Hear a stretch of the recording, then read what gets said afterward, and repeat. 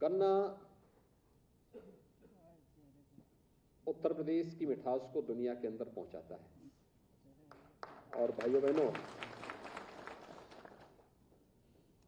पिछले छह वर्ष की अनेक उपलब्धियाँ विभाग के पास हैं।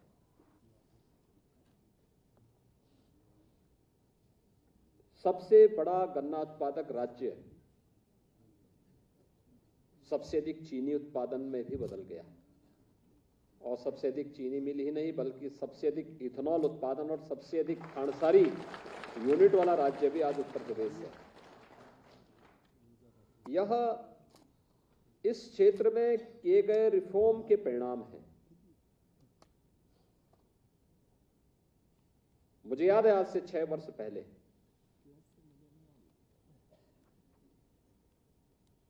पर्ची के लिए परेशान होना पड़ता था। पर्ची की चोरी घड़तोली कोई जनपद ऐसा नहीं था जहाँ गन्ना किसान उत्पादक हो और वहाँ आंदोलन न होते रहे हों। और अंत में अपनी पूरी मेहनत पे चीनी मिल और समय बंद होने के कारण गन्ना किसान को आग लगाना पड़ता था। किसान परेशान होता था गन्ना भेजने के बाद वो पैसा भुगतान नहीं हो पाता था। वर्षों वर्षों का गन्ना मूल्य बकाया रहता था। लेकिन छह वर्ष में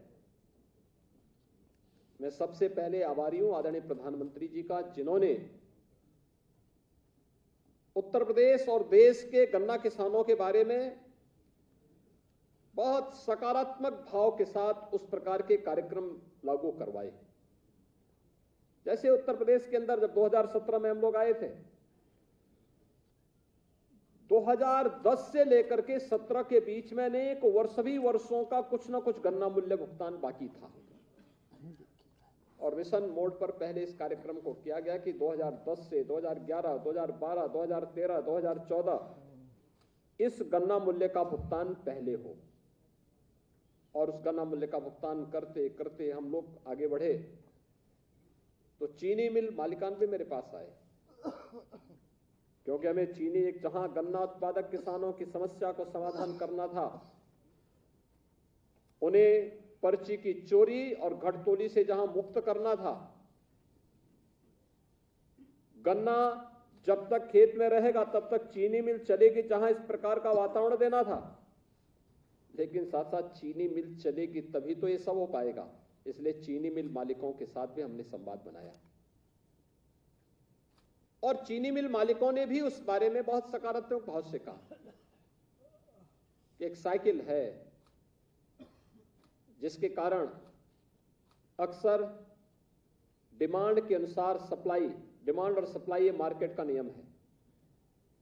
जब चीनी ज़्यादा हो जाएगी, डिमांड नहीं रहती है तो डम पड़ी रहती है। मार्केट में दाम नहीं मिलता है, हम भुगतान नहीं कर पाते हैं।